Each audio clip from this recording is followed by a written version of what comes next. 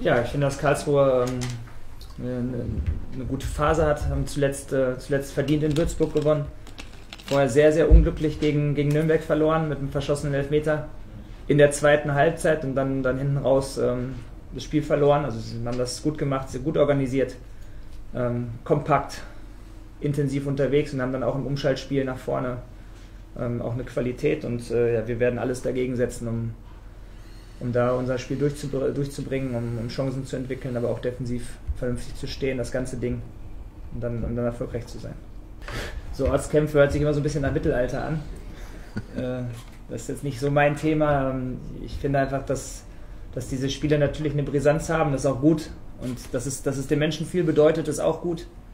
Und äh, dem dann standzuhalten, äh, da alles zu geben, das, das, ist, das ist eine spannende Aufgabe, das ist eine gute Aufgabe. Aber wenn es dann um Ortskämpfe geht oder so, bin ich dann, es geht mir dann ein bisschen zu weit. Aber ähm, nochmal, wir haben die sportliche Verantwortung und, und der wollen wir für dieses Spiel komplett gerecht werden, weil wir wissen, was es den Menschen bedeutet, was aber auch für uns bedeutet. Äh, wir wollen uns da oben festbeißen in der Tabelle und, und alleine aus diesem Grund schon werden wir alles, alles geben, um, um den Stand zu halten.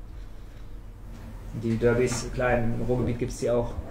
Ähm, natürlich hat das auch da eine, eine Bedeutung. Das will man auch nicht ausblenden, das will man ja nicht wegschieben. Kannst ja nicht so tun, als wäre es ein normales Spiel. Es ist ein besonderes Spiel. Und wir wollen ja, besonders gut sein, um da erfolgreich zu sein.